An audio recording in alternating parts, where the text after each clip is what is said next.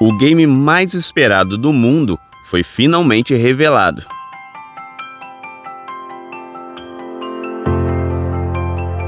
Analisaremos agora cada detalhe dessa obra-prima chamada GTA 6.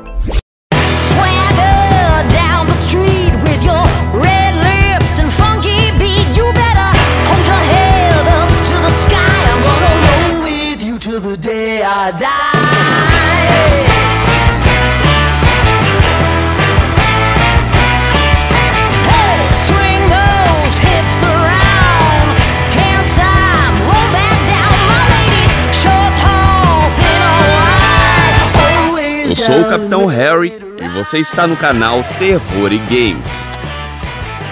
A primeira coisa que podemos notar logo no começo do trailer é o nível de qualidade da iluminação do jogo. Esse pôr do sol é simplesmente deslumbrante, com objetos e construções sendo iluminados de forma realista de acordo com a posição do sol.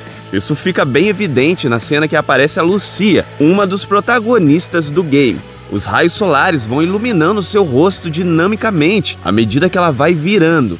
O sol é refletido nas partes espelhadas dos prédios. E o mais incrível, se uma parte do corpo estiver molhada e uma mais seca, a luz brilhará mais na parte molhada. Vemos isso claramente acontecer nesse NPC passando bronzeador. A pele dela está brilhando por causa do produto. Já nessa outra, por estar com a pele mais seca, temos menos brilho de luz. Sério, isso é lindo demais e exige muito poder de processamento. GTA 6 só pode ser rodado com o poder da atual geração. O que dizer dos níveis dos cabelos desse game? Podemos ver cada fio individualmente e o balançar deles se comportando como na vida real. Movimentos suaves com um nível de capricho e realismo nunca visto antes. Uma das coisas que teremos nesse novo GTA são animais, e se você jogou Red Dead Redemption, você sabe que nenhum jogo possui animais mais perfeitos e próximos da realidade. E eles trouxeram isso para seu novo game. Ouso dizer que melhoraram ainda mais. E teremos diversos deles: aquáticos, como golfinhos nadando em grupos, tubarões, muitos tipos de pássaros, como flamingos, patos, cães que talvez poderemos ter como pets, e como esperado de um estado baseado na Flórida, jacarés. E veremos eles por aí, saindo dos pântanos e invadindo casas e estabelecimentos. No que diz respeito aos NPCs, chega a ser inquietante. Essa cena na praia, por exemplo, é simplesmente chocante. Não vemos um, dois ou dez NPCs ao mesmo tempo. São mais de 50 deles, cada um fazendo coisas específicas, com movimentos realistas, cada um deles com roupas e acessórios próprios. E nenhum deles são repetidos. Cada um dos NPCs que você está vendo na tela são únicos. E tudo isso acontece ao mesmo tempo que sombras são refletidas lindamente, ondas do mar são processadas, nuvens volumétricas vão passando no céu e diversos veículos circulam ali, como aviões e helicópteros. Mesmo rodando em consoles poderosos, é realmente incrível ver o que a Rockstar é capaz de fazer com seu motor gráfico. Precisamos falar da água do jogo. É como ver uma água real.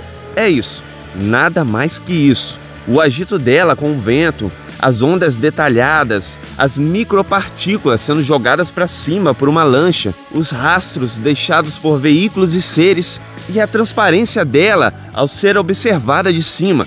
É possível ver o fundo do mar se olhado de uma altura elevada. Níveis de detalhes que só serão superados pela própria Rockstar quando lançar outro game. No que diz respeito a veículos, durante todo esse primeiro trailer, vimos diversos aviões Boeing.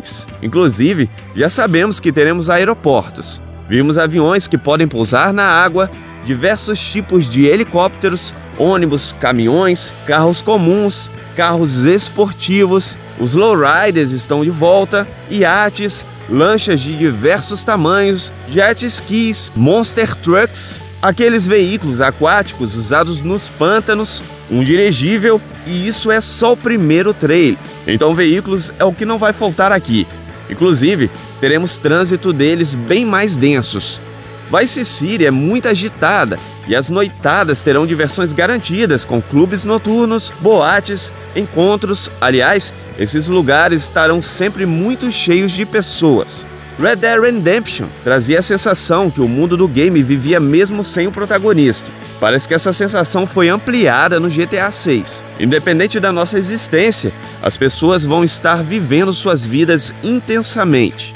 Poderemos comprar casas e apartamentos, e parece que poderemos dar festas neles. Durante o trailer, muitos vídeos eram passados através de um tipo de rede social. Isso já tinha sido vazado antes e vai ter importância no game. Inclusive, todos os vídeos mostrados durante o trailer foram baseados em acontecimentos reais, o que mostra o quanto a Rockstar gosta de detalhes a um nível absurdo.